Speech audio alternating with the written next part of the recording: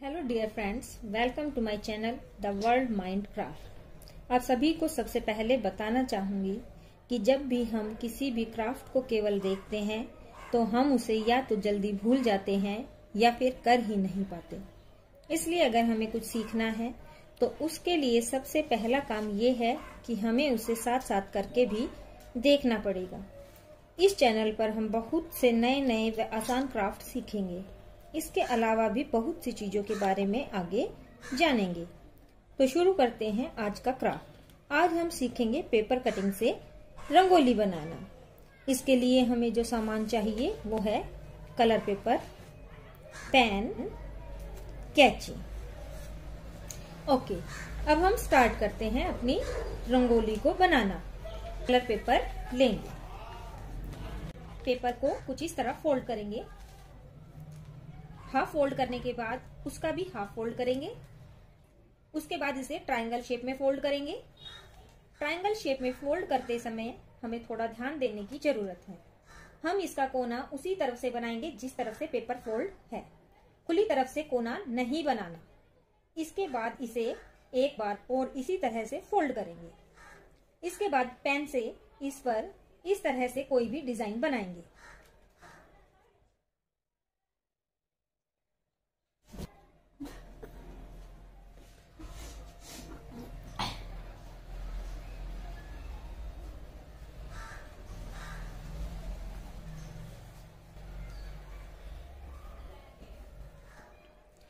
और उसे कैची की सहायता से कटिंग करेंगे इस तरह से।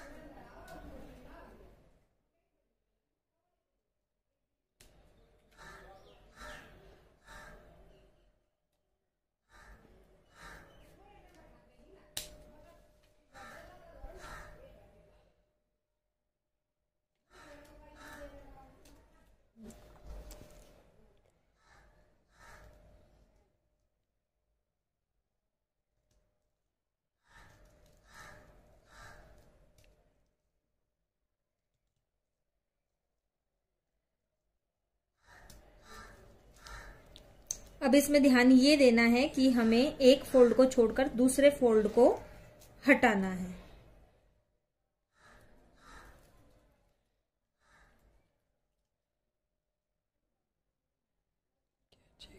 हम पहले से ही जो हम तो इस तरीके से हम उन फोल्ड्स को ऊपर की तरफ़ हमें हमने अलग कर लिया, जिनको हमें कैची से अलग निकालना है। तो अब हम इस अब हमारी रंगोली बनकर तैयार है। अब हम इसे खोलकर देखते हैं। कमेंट में ज़रूर बताएँ कि कैसा लगा आपको यह रंगोली बनाकर।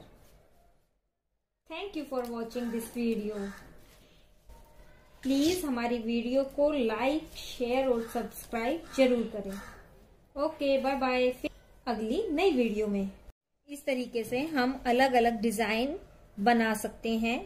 जिस तरीके से हम बाहर अलग डिज़ाइन करेंगे, उसी तरीके से कटिंग के बाद हमें अंदर भी अलग डिज़ाइन मिलेगा, कुछ इस तरह से।